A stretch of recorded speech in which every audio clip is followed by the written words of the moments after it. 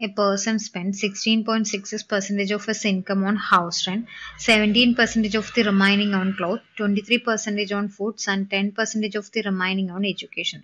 He deposited remaining amount in bank. Find the ratio of total income and total expenditure. Here, always be careful about the word remaining.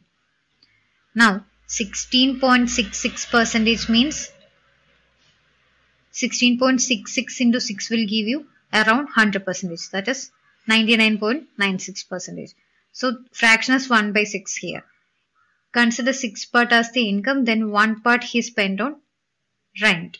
Now, if you consider 600, 6 part means 600 as total income. 1 by 6 of 600 is 100 rupees he spent on rent.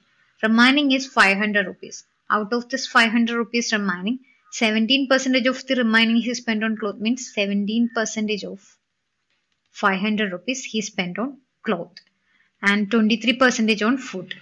23 percentage on food which means remaining is equal to his 17 plus 23 is equal to 40 percentage. Remaining is 60 percentage.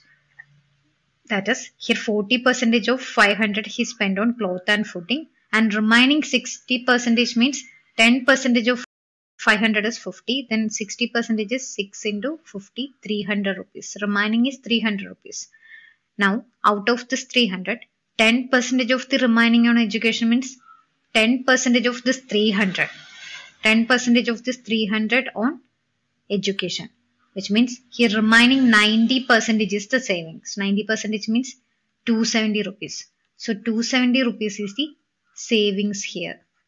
Now we need ratio of total income 600 and total expenditure means income minus savings is expenditure which is 600 minus 270 is 330 rupees.